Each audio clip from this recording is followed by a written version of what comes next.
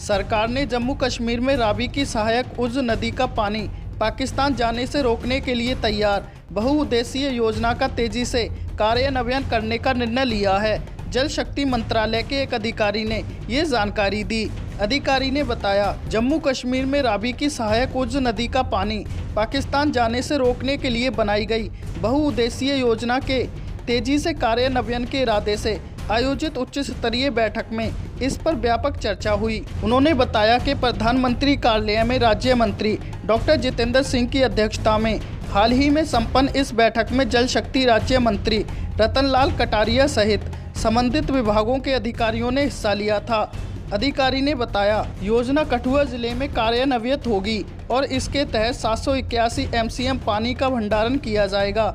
इस योजना के माध्यम से सिंधु जल समझौते के अनुसार भारत के हिस्से के पानी का बेहतर इस्तेमाल किया जा सकेगा। उन्होंने बताया कि परियोजना के डीपीआर को जुलाई 2017 में तकनीकी मंजूरी दी जा चुकी है और इस पर काम तेज़ी से आगे बढ़ाने के लिए तकनीकी रिपोर्ट को अंतिम रूप दिया जा रहा है।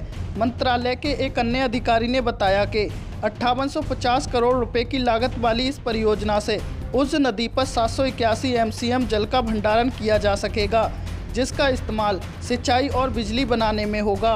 इस पानी से जम्मू कश्मीर के कठुआ, हीरानगर और सांबा जिलों में इकतीस हेक्टेयर भूमि की सिंचाई और पेयजल की आपूर्ति हो सकेगी।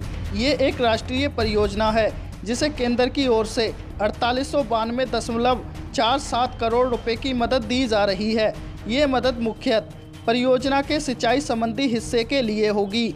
परियोजना के लिए विशेष मदद पर भी विचार किया जा रहा है। जल शक्ति मंत्रालय से प्राप्त जानकारी के अनुसार, सिंधु नदी प्रणाली में प्रमुख रूप से सिंधु, झेलम, चिनाब, रावी, ब्यास और सतलुज नदियाँ शामिल हैं।